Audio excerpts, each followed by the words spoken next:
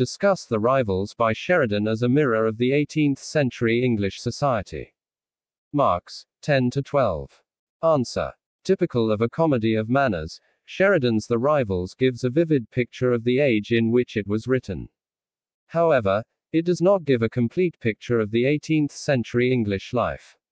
In a satirical timbre, it presents mainly the fashionable aristocratic people whose life was a continual round of pleasures, intrigues, and amours.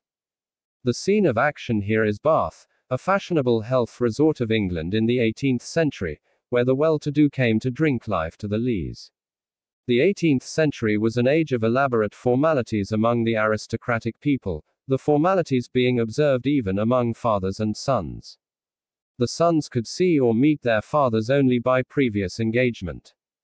Captain Absolute's sending of Fag, his servant, to arrange his father for meeting with him clearly reflects the elaborate formalities in the 18th century.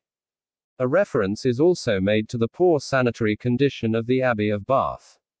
Sheridan deftly hints at the hygienic hazards caused by the burial of a large number of dead bodies inside the churchyard and the frequent opening of those graves. Through Sir Lucius, this growing nuisance of the beautiful town of Bath is dramatically indicated. The play alludes to the existence of the circulating libraries in England during the time. These libraries were the happy haunts of young men and women like Lydia, with their brains charged with romantic and idealistic notions of love. Lucy's words to her mistress indicate how there was a rush for books in such libraries, the popular books of the time being mainly sentimental novels and cheap romances. In the 18th century, the fashion of wearing wigs was dying out except among a certain number of professional men. Fag considers Thomas backdated because he still wears a wig.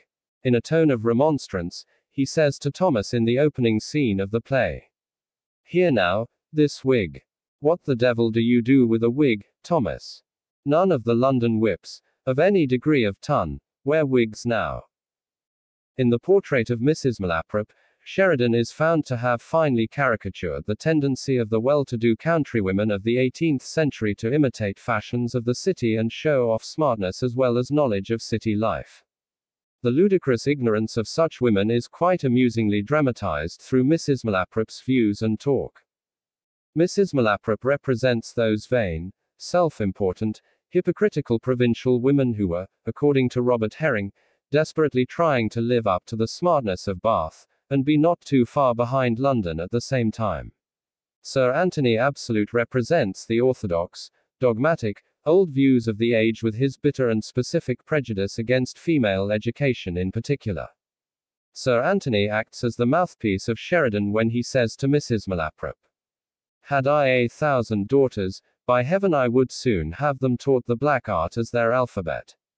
Sir Anthony vividly symbolizes the parental tyranny exercised over the sons and daughters in the 18th century, the tyranny of which Sheridan himself is a helpless victim in his own life. Thomas Sheridan, the father of the dramatist, could never approve of his son's marriage with Elizabeth Linley. The manner in which Sheridan makes Sir Anthony strut and fret at his son's refusal to marry the girl of his choice, makes it evident that Sheridan is all out to make him the ludicrous butt of his satire, and thereby retaliates against the tyranny and obstinacy of his own father. Excessive sentimentality was common in many young people of the 18th century. Sheridan's presentation of Lydia's singular taste, and Falkland's silly sentimentality, well bears out the prevalent social temper of the age. In the 18th century, the aristocratic ladies used to keep lap dogs and parrots. While describing the staff of Lydia in his usual exaggerated way, Fag says, She has a lap dog that eats out of gold, she feeds her parrot with small pearls. Moreover, duel fighting in love rivalry, strict prohibition of minor's marriage without the guardian's consent, marriage by banns, embracing and kissing as ceremonious forms of greetings, all these prominent features of the 18th century's aristocratic life are well reflected in the rivals. Sheridan is the master of social manners and is primarily concerned with the superficial manners of the civilized society, its frailties, follies, and vices. The picture Sheridan depicts in The Rivals is realistic, his characters reflecting universal traits of mankind.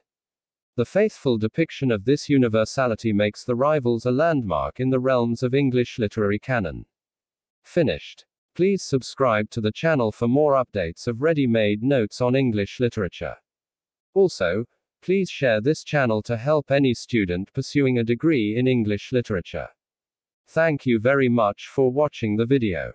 Please do not forget to like and comment.